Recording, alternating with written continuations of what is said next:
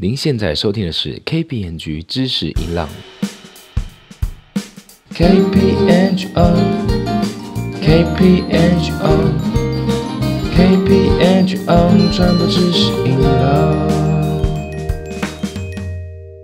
欢迎收听 KPMG 知识音浪节目，我是主持人 Peter。各行各业哦，做生意的方法跟诀窍都不一样。但是哦，最近我相信台湾非常多的老板们都在苦恼一件事情，那就是缺工。毕竟哦，台湾现在 GDP 的成长其实非常的显著，在荣景底下呢，当然人才哦有更好的待遇，他就会想要跳槽。所以呢，各行各业都希望以更好的待遇来留住人才。究竟哦，在这个缺工底下，我们应该要如何的去征才，如何的去留才，提出更完整的一个团队的培育以及发展呢？今天这期节目，很高兴的邀请到了 KPMG 安和建业的人资长黄博淑 Stella 会计师，邀请人资长和我们来分享一下缺工现象底下的征才和留才之道。Hello Stella，你好。嗨，你好 Peter。是，首先我想先请教一下哦，我们刚才一开始就提到了缺工这个关键字，现在哦，KPMG 身为四大会计师事务所之一哦，你们有没有感受到缺工？那你们如何的去提供新人更多更好的待遇呢？啊，是啊，尤其会计师事务所是产业的训练所，一般受过会计师事务所训练的人呢，其实因为他们有多面向的一个养成，本来就很容易非常被挖角哦。那现在因为人才荒，我们缺人的状况也很严重。那像前阵子大家知道的加薪四千块，那我们也针对所有的审计专业同仁都有呃加这个四千块的一个薪水。是，其实。绩效考核哦，每一年我相信很多的企业稍具规模的，应该都会做这样子的绩效考核。刚才 Stella 提到这个加薪四千块，我想要追问一下，这个是每一个人都有这个待遇吗？呃，我们是针对所有的审计专业同仁哦。那主要是因为我们税务部和顾问部门的调薪是在每一年的一月哦。那在他们一月的调薪，其实已经先提前考量物价水准和市场的一个薪资的趋势哦。可是审计部门例行性的调薪是在每一年的七月一号。那我们合伙人考量说，现在物价飙涨哦，那希望可以及时。呃，来反映员工的实际需求，让同仁有感哦。所以我们在今年的四月一号先行在月薪上面反映哦。那四千块怎么来的？四千块其实是根据往年的一个平均的调整幅度哦，大概抓十 percent 左右哦。那当然，我们在今年七月还是会进行例行性的绩效考核来调薪哦。是，刚才 Stella 有提到哦。很多产业都会来挖角受过会计师事务所训练的人。那我们也都知道，其实事务所每年都会招收很多的新进人员，特别是社会新鲜人。那社会新鲜人这一块，可以跟我们分享一下，每年大概你们招收的人数大约是多少？那他们在应聘进来之后，都让他们分发到什么部门来从事吗？呃，我们每一年大概在九月、十月的时候，会到校园去做一个大批的校园招募哦。那一年呢，大概需要四百多位的校园新鲜人哦。那因为我们是比较 高压的工作，正常的流动率大概有三成以上哦。KPMG 台湾大概有两千五百多个人哦，那审计部门大概有一千六百多个人左右哦。哇，有一千六百多个这么多，那我想请教 Stella，在升迁的安排上面哦，通常哦 KPMG 它的一些做法是什么呢？呃，我们的升迁制度非常的畅通哦，也很透明，只要你的工作表现符合这个职级，每一年呢都可以往上升一阶哦。那像审计部门来讲，大概进来都是先从审计员开始，那就有初中高审。然后第四年是主任、副理、经理，然后协理一直到合伙的会计师哦。如果你的表现是优异的，其实你也可以跳升，就不受说一年才只能升一阶哦。那因为在事务所，它没有设限说每个职级的人数哦，不像产业界一个萝卜一个坑，只要符合职级，你都可以胜任哦。所以我们的同事常常不到呃三十岁，他们就可以升任经理职哦。那像我们今年年初升任。的几位合伙人当中，有几位年资只有十三年，那其中还有一位年资不到十年哦，所以呃，在这个行业里面，其实过程会有一点辛苦，但是结果是甜美的。哦。那我们可以很自信的说，我们是用专业来创业。那这是一个可以白手起家的职业哦，你不需要筹资来支付资本金，你也不用去靠背景呢，只要努力专业服务好客户，然后和同事团队合作，就可以成就自己。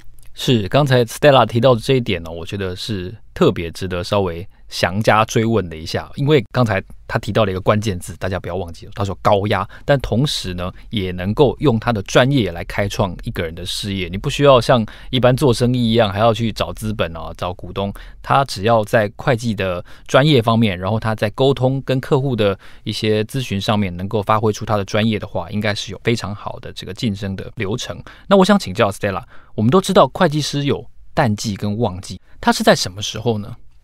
以事务所人力最多的审计部门来说，旺季大概是十二月下旬一直到次年的五月哦。那因为这是企业上年度结算后要委托会计师查核签证、财报跟税报的时间哦。那旺季的时候，我们每天工作的时间哦，常常都会超过十二个小时。嗯，那在忙季的时候，有的同事会呃情绪上面比较紧绷哦，那也会比较没有耐心哦，所以我们需要有经验的人来指导或者适时的咨询呢，让案件可以顺利的完成。那因为在忙季的时候压力比较大，所以我们有一系列 special 的关怀专案哦。那像呃我们提供维他命或叶黄素哦，让呃同事来补充营养品哦，那也提供了麦片冲泡饮料和下午。茶，那在办公室我们也设置了自动贩卖机，让同事用市价的大概五成的一个价格就可以买到饮料跟零食哦。另外，我们也即将要推出扭蛋。让同仁哦，在紧凑的忙季当中，可以增加一点乐趣哦。其实忙季正是可以大量学习、快速累积经验的时候。那随着经验的累积，对于案件的掌握度会越来越好。那自己的进步，其实自己是可以感受到了，这是一种自我的实现和成就感呢。是，那我想请教一下，除了忙季这些比较 special 的一些福利措施之外，平常有没有一些不同的一些职工福利呢？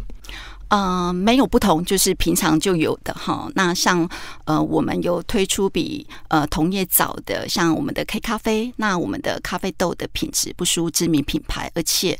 不分大小杯哦，单一的价格让大家非常窝心。只要你的杯子够大，我们就一定帮你装满哦。那我们也每一年都会提供一万块钱的福利金，让同仁在 K 咖啡消费，那没有消费完就折现哦。那另外，我们像我们事务所尾牙是在十二月举办。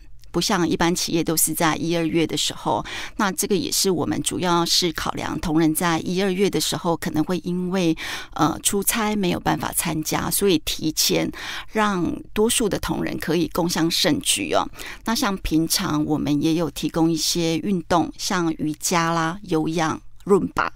然后也有一些社团，像呃羽球、篮球、垒球、排球等等，还有英日文的演讲社、品酒、单车、登山、茶艺哦，还有呃，因为我们有日本业务部，所以我们有一个日本文化的一个研习社等等哦，这个都让同仁呢可以一起来分享除了工作以外的活动哦。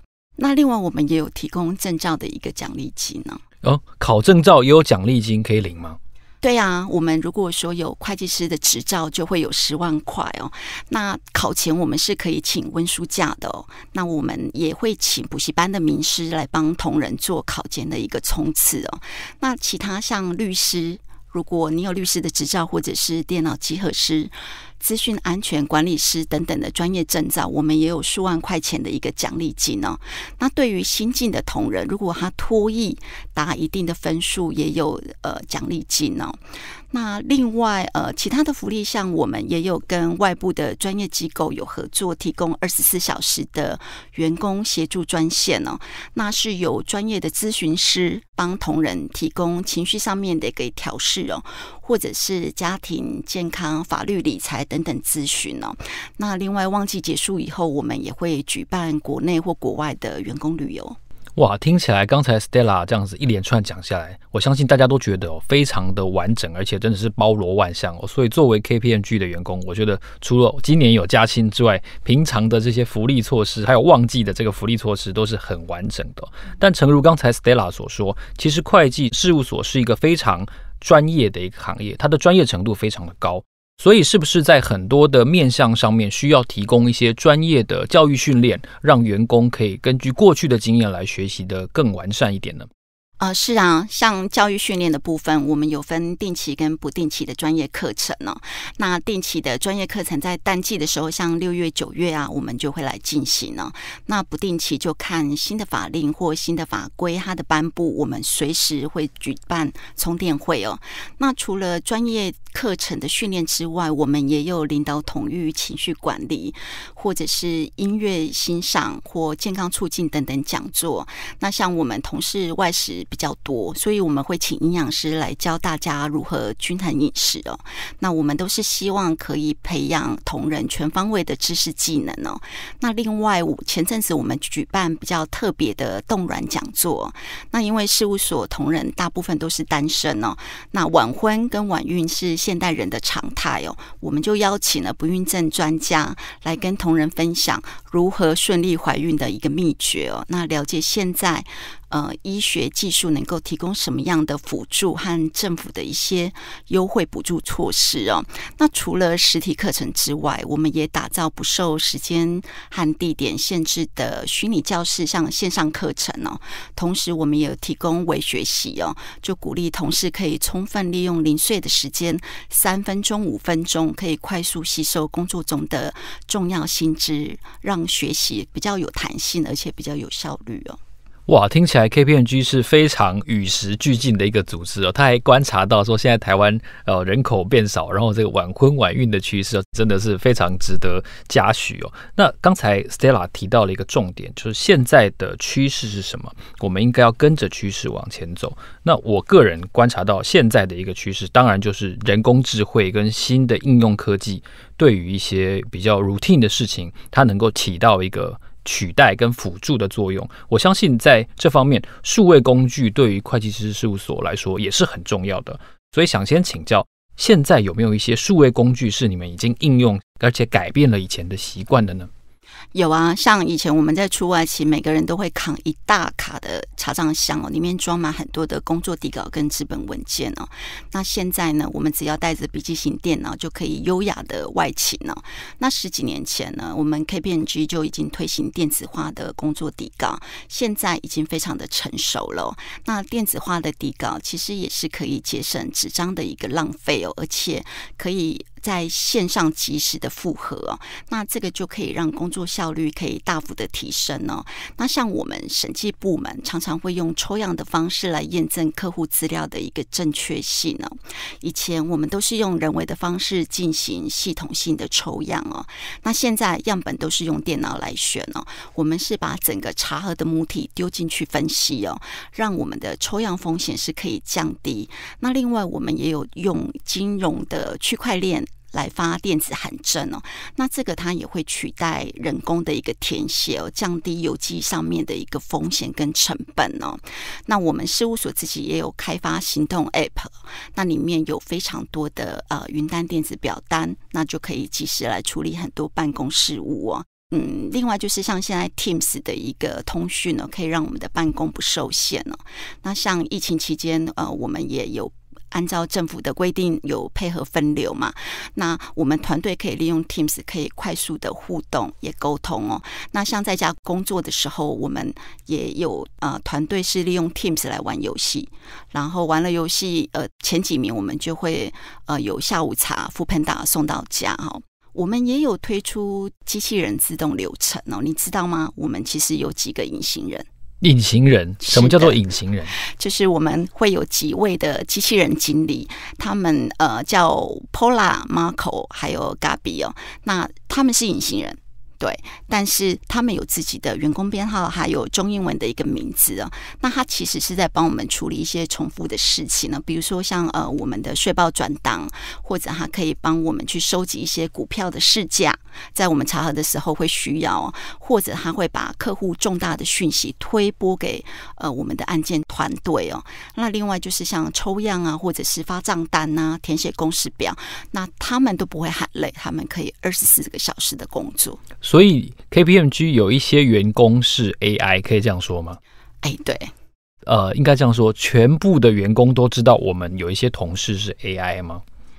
呃，应该是大部分的人知道，因为你是在封社区里面，其实是可以找到他们的。哦，所以这样子的应用，其实我觉得也蛮有趣的，就是它取代了一部分呃比较日呃日常性的工作，然后让你的程序变得更快。是的，是。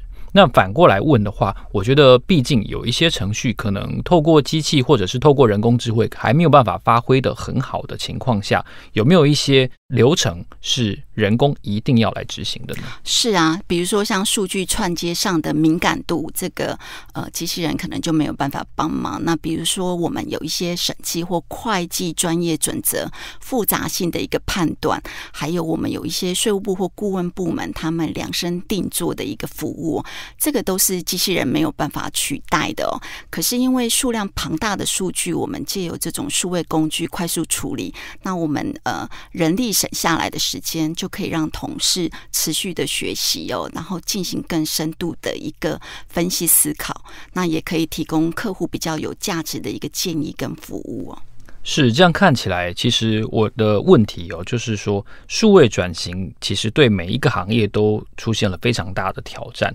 那我想请教，像会计师事务所这样子的一个行业，在数位转型底下，Stella，你觉得他碰到了什么样的挑战？然后他又创造了什么样的新机会呢？嗯，我们也是会有挑战了。比如说，你请员工要改一个 methodology 来讲，他们用一个新的 tool，他们就会抗拒。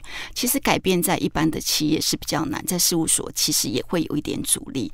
可是因为我们的同仁都相对比较年轻，所以我们会提供系统化的训练，我们会有培训，会有种子讲师，然后我们会有新知识的一个充电会。所以数位翻转在事务所来讲，其实是非常容易的。的事情呢？那像呃，我们事务所的数位化转型呢，比如说像我们刚刚提的实体底稿的电子化跟云端化，或者我们导入 RPA 这个机器人的一个流程自动化，我们其实都是希望来改善我们工时长的一个状况哦。然后同时也因应企业客户端那边的新数位需求啊，可以提供呃系统的优化跟资讯安全的相关服务哦。那我们也有呃。数位团队，我们数位团队有非常多元的人才，包含财务、税务、法律和顾问等等哦。那提供多面向的一个数位创新转型策略服务哦。